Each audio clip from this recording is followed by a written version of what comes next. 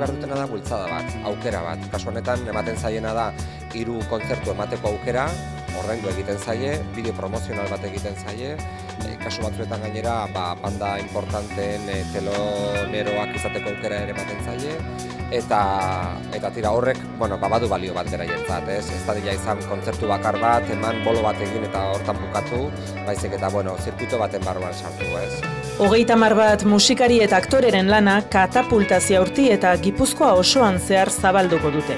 Hiru kontzertu, ba, oso ondatoreko zaizkigunak ez, azkenen ba, jira txiki bat egiteko gipuzkoa duguzkoan, baina bestalde oso aukera hona da bisibilitate bisibilitatea lortzen ez zulako. Nik uste dena gaur egun erraminta gehiago daudela, erresagoa dagola, ba, zure lanak aurrera ateratzeko edo nun, erakusteko, e, publizitatea egiteko, leheno dena zen asko zailagoa egin ditzen zait. Profesionaltasunari begira, nik uste dut da garrantzitsua dela, plataformak honek egiten dagoen aleginak, ba, zentzu hortan balora enbidia, eta bueno, ba, ba, azken batean, ba, emungo duen kontzertuak edo, ba, bueno, ba, seguramente oso ondo prestatuta ongo diala, ipuzko amaian, bez, segurani, ba, arreria hona izango dela, eta oso posik.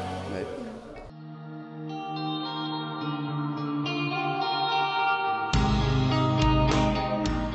Kirutzen zitzaigun importantea zala estena, estena zirkuito e, urbano bat martxan jartzea, donostitik aratago, eta balorean jarriz ba, hainbat esparru askotan zailtasun izugarriak dauzkatenak ba, programatzeko eta batez ere atentzioa deitzeko bere programazioaren inguruan, ez? eta jendea erakartzeko bere herritik aratago. Hiru arte hauetan egondo dela evoluzio bat positiboa, ez? Ba, lehenengo urtean e, izen ematen zuten artista gehienak donosti aldekoak ziren eta gutxiago provintziakoak. Eta ja lortu dutzen ari gara, aurten e, inskripzioetan ba, Gipuzkoa herri ezberdintako jendea apuntatzea, ez? Osea, hor, hor aldaketa handia egondu da. Guk hori nahi dugu. Osea, jendea joatea bere gertu daukan e, herrian edo ondoko herrira joatea, ba, e, emanaldi polite bat ikustera, ez? Edo musikakoa edo arte esterenikotakoa. Orduan pixka bat sakabanatuta egotea, ez egotea kontzentratuta toki baten. Ez da bat ere erraza, musika ala arte estenikoak afizio dituenarentzat urrats bat gehiago egin eta estenatokietara igotzeko aukera izatea, eta katapulta honek bultzada hori ematen die musikariei.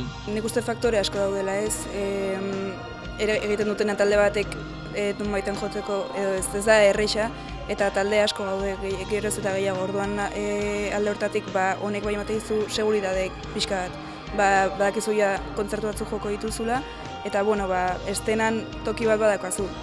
Nere kasuan, bueno, ba, bai, batzutan e, esfortzuak eta sakrifizioak inbidea, kontzertu bat opaiteko, baina, bueno, olako, ikustu olako plataforman bidez, ba, dana errazo gala, ez? Badaude nik uste fetxa konkretu batzuk edo kontzertu mota batean bai publikoa beti horre dagoena, baina gero e, talde txiki edo, bueno, ba, zirkuitu underground dago baten e, publiko hori ez da oso fidela, orduan zaila da baita ere estena egonkor bat egitea publiko mota honekin, baina bueno, dagoena nik uste dut. Arrakala handiagoa izaten da arte estenikoetan, badago tartea antzoki eta kulturretxetako estenatokien eta bestelakoen artean eta apalagoa izan da deialdi honetako parte hartzea hemen Gipuzkoaldean, osea, bi munduetan mugitzen dira. O daude hasi berriak eh ez daukatenak igual oraindikan e, lan propioak, ez? Antzes lan propioak. Eta gero besteak daude beste puntzo batean agian ja profesionalak eta daudenak ja oso mamituak, ez? Egia da arrazo gehiago dauzkagula musikan baino e, arte estenikoetan, antzerkian, mikroteatroa eta bar, baina tira hortan, ba, bueno, azpimarra berezia egin beharko dugu datozen, datozen deialdietan.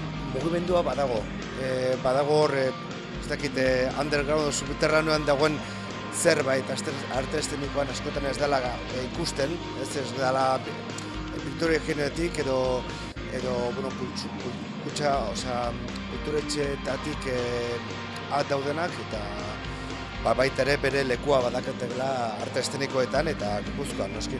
Agian gipuzkoan falta dena da arte estenikoentzako e, gira bat. Plataforma bat hartzea eta herri ezberdinetatik ez eta arte estenikoetan egiten dana.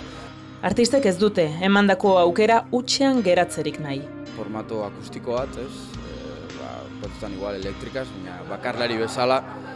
Eta bueno, ba, nire azkenengo diskoko abestisa presentako, barriren bat be, segurenik, eta bueno, ba, bai, ba, formato intimuan edo eskenikot abestionik. Gure soinua nahi degula erakutsi ez, e, taldeko kideak bai gerala oso ezberdina bakoitza bere musika estilotik dator, eta sortu dugun konbo musikalaiz nik uste dut berezia dela eta pixkatori nahi dugu erakutsi, eta jendiaren erantzuna gehien nahi dugu jakin ez, aber nola sartzen den.